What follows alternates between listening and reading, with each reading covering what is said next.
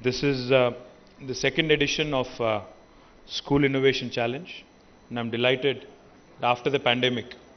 Pandemic తర్వాత ఈ corona సమయంలో కూడా చాలా పెద్ద ఎత్తున ఈ కార్యక్రమంలో ఏదైతే విద్యాశాఖ నేతృత్వంలో ఐటీ శాఖ యొక్క సహకారంతో చేసిన ఈ కార్యక్రమంలో చాలా పెద్ద ఎత్తున స్కూల్స్ పాల్గొన్నందుకు అందులో గవర్నమెంట్ స్కూల్స్ ఉన్నాయి కొన్ని ఇతర పాఠశాలలు కూడా ఉన్నాయి బడ్జెట్ స్కూల్స్ కూడా ఉన్నాయి వారందరికీ కూడా ముందుగా హృదయపూర్వకమైన శుభాకాంక్షలు the numbers are very impressive on the whole 5,387 schools have registered for the challenge.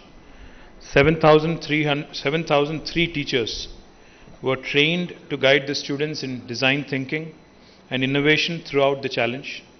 More than 25,166 students have taken part in the School Innovation Challenge. 11,037 teams have successfully submitted ideas. 79 shortlisted teams have undergone the prototype boot camps conducted across the erstwhile Telangana districts. 20 teams across 33 districts got selected for the grand finale. అందులో ఈరోజు ఆ ఇరవై final ఫైనలిస్టులుగా ఎంపికైన టీంలోంచి ఐదుగురికి ఇప్పుడే మీ కళ్ళ ముందే jury ద్వారా ఎంపిక కాబడ్డ వాళ్ళకి వారికి ప్రైజులు కూడా అందజేయడం జరిగింది ఎందుకు చేస్తున్నాం ఈ కార్యక్రమం అనేది ముందుగా మీకు ఒకసారి గుర్తు చేయవలసిన అవసరం ఉంది. పిల్లల్లో సృజనాత్మకత అనేది కొత్తవి ఆవిష్కరించాలి అనేది చిన్నప్పటి నుంచి ఆ క్యూరియాసిటీ లెవెల్స్ చాలా ఎక్కువ ఉంటాయి. నిజానికి ప్రైమరీ స్కూల్లో అప్పర్ ప్రైమరీ స్కూల్లో ఉన్నప్పుడు పిల్లలు చాలా చాలా ప్రయోగాలు చేస్తూ ఉంటారు. నాకు మేము చిన్నగా ఉన్నప్పుడు చేసిన ఒక ప్రయోగం నాకు ఈ సమయంలో గుర్తొస్తా ఉంది. మా అమ్మమ్మగారు ఊరు కొదురుపాక అని కరీంనగర్ జిల్లాలో ప్రస్తుత సిరిసిల్ల జిల్లా బోయిన్పల్లి మండలంలో ఉంటుంది. అక్కడికి పోయినప్పుడు ఎండాకాలం సెలవుల్లో పోయేది మేము అక్కడికి. పోయినప్పుడు మేమందరం చిన్నపిల్లలుగా ఉన్నప్పుడు నేను మా కజిన్స్ కానీ నేను కానీ మా చుట్టూ ఉండే అక్కడ ఫ్రెండ్స్ కానీ మేము కూడా చాలా చిన్న చిన్న ప్రయోగాలన్నీ చేసేది. మీ చాలామంది చేసి ఉంటారు ఇక్కడ కూర్చున్న వాళ్ళు కూడా. ఈ బల్బ్స్ ఉంటాయి అప్పట్లో ఈ చిన్న చిన్న బల్బ్స్ ఉంటాయి కదా ఇన్కాండసెంట్ బల్బ్స్ వాటిల్లో ఆ ఫిలమెంట్ అది తీసేసి నీళ్ళు పోసి అందులో రకరకాలు వేసి then you start you know kind of reflecting light on to the wall projecting it దానిలో మళ్ళీ రకరకాల formations I see some some of you smiling I'm sure you have tried it all అట్లాంటివి ఏవేవో చేస్తూ ఉంటాం. చిన్నప్పుడు పిల్లలు they try and do a lot of things అదే మాదిరిగా చాలామంది ఈ ఇక్కడ ఇండియాలోని కాదు ఇక్కడ తెలంగాణలోని కాదు ప్రపంచవ్యాప్తంగా కూడా చిన్నపిల్లల్లో క్యూరియాసిటీ లెవెల్స్ కానీ ఇంక్విజిటివ్నెస్ కానీ తెలుసుకోవాలి అనే ఉత్సాహం కానీ ఉత్సుకత కానీ ఎక్కువగా ఉంటుంది. ఈ మాట ఎందుకు చెప్తా ఉన్నానంటే మాకు ఒక ఇంట్రెస్టింగ్ అనుభవం. జయేష్ రంజన్ గారు నేను మా టీం అంతా ఒకసారి ఒక మూడు నాలుగేళ్ళ కిందట జపాన్ పోయినాం. జపాన్ పోయినప్పుడు అక్కడ సుజుకి కంపెనీ హెడ్ క్వార్టర్స్ పోయాం. అక్కడ చైర్మన్ గారితో మీటింగ్ ఉంటే ఆ కంపెనీ హెడ్ క్వార్టర్స్ పోయినాం. పోతే అక్కడ ఆ చైర్మన్ గారు ఏదో బోర్డు మీటింగ్లో ఉన్నారు. ఇంకా మీకు ఒక పదిహేను ఇరవై నిమిషాల సమయం ఉంది. మా సుజుకి మ్యూజియం ఉంటుంది. అదొకసారి చూసి రండి మీరు లోపల అని చెప్పి వాళ్ళ ఎగ్జిక్యూటివ్ నుంచి మమ్మల్ని పంపించినారు. సో ఆ సుజుకి మ్యూజియంలో తిరుగుతూ ఉన్నాం మేము. అంటే ఎక్కడెక్కడ మొదటి కార్ ఎప్పుడు వచ్చింది మొదటి బైక్ ఎప్పుడు వచ్చింది వాళ్ళకి ఆలోచన ఎట్లా వచ్చింది అసలు మొదటి బైక్ ఎట్లా తయారు చేసినారు ఆ బైక్ ఎట్లా ఉంది దాన్ని అక్కడే మొత్తం మ్యూజియంలో అన్ని ఫస్ట్ వెహికల్స్ అన్నీ కూడా అక్కడే భద్రంగా పెట్టినారు. మేము అన్నీ చూసుకుంటూ వస్తున్నాం. వస్తుంటే మాకు ఇంత లోపల ఒక చిన్న చిన్న చిన్న పిల్లలు. Maybe they are in third or fourth grade or maybe even in second grade అంటే రెండవ తరగతి పిల్లలు మూడో తరగతిలో ఉన్న పిల్లలు థర్డ్ స్టాండర్డ్లో సెకండ్ స్టాండర్డ్లో ఉన్న పిల్లలు. వాళ్ళందరూ ఒక ముప్పై నలభై మంది పిల్లలు వచ్చినారు స్కూల్ యూనిఫామ్స్లో వచ్చినారు. వస్తే వాళ్ళందరికీ తీసుకొని తిప్పి చూపెడతా ఉన్నారు వాళ్ళు. నాకు అర్థం కాలేదు. సుజుకి మ్యూజియంలో ఈ రెండవ తరగతి పిల్లలు మూడవ తరగతి పిల్లలు వీళ్ళేం చేస్తున్నారు వీళ్ళకేం పని వచ్చింది ఇక్కడ అనేది నాకు అర్థం కాల. అర్థం కాక అక్కడ పనిచేస్తున్న అక్కడ జాపనీస్ ఎగ్జిక్యూటివ్ ఎవరైతే ఉన్నారో సుజుకీకి సంబంధించి ఆయన అడిగినాను. వీళ్ళేం చేస్తున్నారా ఇక్కడ అని. మీరు గమనించండి జాగ్రత్తగా ఏం చేస్తున్నారో అన్నాడు. ఏం చేస్తున్నారు వారి పిల్లలు అంటే మనం ఇప్పుడు సినిమా థియేటర్కి పోతేనో లేకపోతే ఏదైనా షాపింగ్ మాల్ పోతేనో వెండింగ్ మెషిన్స్ ఉంటాయి కదా. అందులో పెప్సీ ఉంటుంది ఇంకా ఇతరత్ర కోకోకోలాలు పెప్సీలు సాఫ్ట్వేర్ బెవరేజెస్ ఇవన్నీ ఉంటాయి. చాక్లెట్లు అవి ఉంటాయి కదా. రూపాయో ఐదు రూపాయలు పది రూపాయలు ఎంత వేస్తే అందులోంచి ఒక ప్రోడక్ట్ వస్తుంది. అట్లాంటి వెండింగ్ మెషిన్స్ ఉన్నాయి రెండు మూడు. మేము జాగ్రత్తగా చూస్తూ ఉంటే ఆ పిల్లలు ఏం చేస్తున్నారంటే అక్కడికి వెళ్ళి ఆ వెండింగ్ మెషిన్ లాంటి దాని దగ్గరికి వెళ్ళి అక్కడ ఒక సిరీస్ ఆఫ్ స్టెప్స్ ఉన్నాయి. One two three four steps ఆ ఫిఫ్త్ ఫిఫ్త్ ఆస్పెక్ట్లో ఆ వెండింగ్ మెషిన్ ఉంది. అది ఏంది అని చూస్తే ఆ మొదటి స్లాట్ దగ్గర మీరు కార్ తయారు చేయాలనుకుంటున్నారా బైక్ తయారు చేయాలనుకుంటున్నారా అని ఉంది. ఆ పిల్లోడు కానీ పిల్ల కానీ కార్ తయారు చేయాలనుకుంటే అక్కడ ఒక బటన్ నొక్కాలి. నొక్కిన తర్వాత సెకండ్ టేబుల్ దగ్గరికి పోతే అక్కడ ఆప్షన్స్ ఉన్నాయి. ఏ కలర్ కావాలి కారు? ఏ షేప్లో కావాలి? అక్కడ ఐదారు ఆప్షన్స్ ఉన్నాయి. దాన్ని క్లిక్ చేయాలి.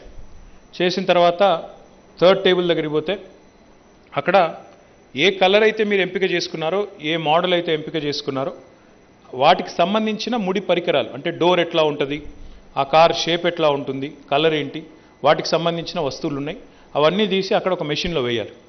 వేసిన తర్వాత ఫోర్త్ టేబుల్ దగ్గరికి పోతే మీ కార్ ఇట్లా కనబడుతుంది అని చెప్పి అక్కడ ఫోటో చూపెడుతుంది. ఇది మీకు ఓకేనా లేకపోతే మళ్ళీ మార్చుకుని మళ్ళీ మొదటి నుంచి మొదలు పెట్టవచ్చు. ఫోర్త్ టేబుల్ ఫిఫ్త్ ఆ వెండింగ్ మెషిన్ దగ్గరికి వెళ్ళి ఒక బటన్ నొక్కితే మీకు ఏ రకమైన కారు కావాలో ఆ రకమైన కారు మీరు తయారు చేసి మీరు మీరు ఏదైతే డిజైన్ చేశారో ఆ కారు మీకు వచ్చి మీ చేతిలో పడుతుంది. ఇది చూసిన తర్వాత నాకు చాలా ఆశ్చర్యం అనిపించింది. ఎందుకు చేయిస్తున్నారు పిల్లలతో ఈ పని అంటే? వాళ్ళు చెప్పిన మాట ఏమంటే to imbibe design thinking from a very early stage రెండో తరగతి నుంచే మూడో తరగతి నుంచే పిల్లలకి ఒక వస్తువు ఎట్లా ఉత్పత్తి అవుతుంది? ఆ వస్తువు ఎలా తయారవుతుంది? కర్మాగారంలో అసెంబ్లీ లైన్లో ఎక్కడెక్కడ ఏం జరుగుతుంది? అనే ఒక థింకింగ్ని ఒక మ్యానుఫ్యాక్చరింగ్ సైడ్ ఒక డిజైన్ సైడు అందులో ఏమేమి ఇంగ్రీడియంట్స్ ఉంటాయి ఎట్లా వాటిని తీసుకొని రావాలి అనే ఒక ఆలోచన విధానాన్ని పిల్లలు తీసుకురావడానికి ఈ కార్యక్రమం చేస్తున్నామని చెప్పారు. నాకు నిజంగా ఆశ్చర్యం అనిపించింది. ఎందుకంటే జపాన్ లాంటి దేశం మనకు తెలుసు. చాలా చిన్న దేశం అది. చాలా ప్రకృతి పరంగా చూస్తే చాలా ప్రతికూలతలు చాలా న్యాచురల్ ఆబ్స్టికల్స్ ఉన్న దేశం అది. ఆ దేశంలో చాలా తక్కువ జనం మనం మన జనాభా చూస్తే నూట ముప్పై ఆరు కోట్లు నూట ముప్పై ఏడు కోట్లు మనం ఉన్నాం. మన దానిలో వన్ టెన్త్ కూడా ఉండరు వాళ్ళు. ఎర్త్ క్వేక్స్ ఉంటాయి సునామీలు ఉంటాయి ఆ దేశంలో జపాన్లో అదేవిధంగా వాళ్ళకి టోపోగ్రఫీ కూడా వాళ్ళకి అనుకూలంగా లేదు. ఆ దేశంలో ప్రకృతి ప్రాకృతిక అనుకూలతలు ఆ దేశానికి ఎక్కువగా లేవు. వ్యవసాయం చేద్దామంటే ఎక్కువ సాగుకు యోగ్యంగా భూమి లేదు. సరిగా నీళ్ళుండవు. కానీ ఇవన్నీ లేకపోయినా వాళ్ళకు ఉన్నది ఏంటి అంటే చిన్నప్పటి నుంచే ఈ బ్రెయిన్ పవరు ఇంటలెక్చువల్ కేపబిలిటీస్ ఎక్కువ ఉన్నాయి కాబట్టే వాళ్ళు ఈరోజు మనకంటే నాలుగు అడుగులు ముందుండి ఇవాళ ప్రపంచానికి ఒక మొత్తం ఆసియా ఖండంలోనే ఒక శక్తిగా ఒక అద్భుతమైన ఆర్థికపరమైన ఎకానమీగా వాళ్ళు ఎదగగలిగారు.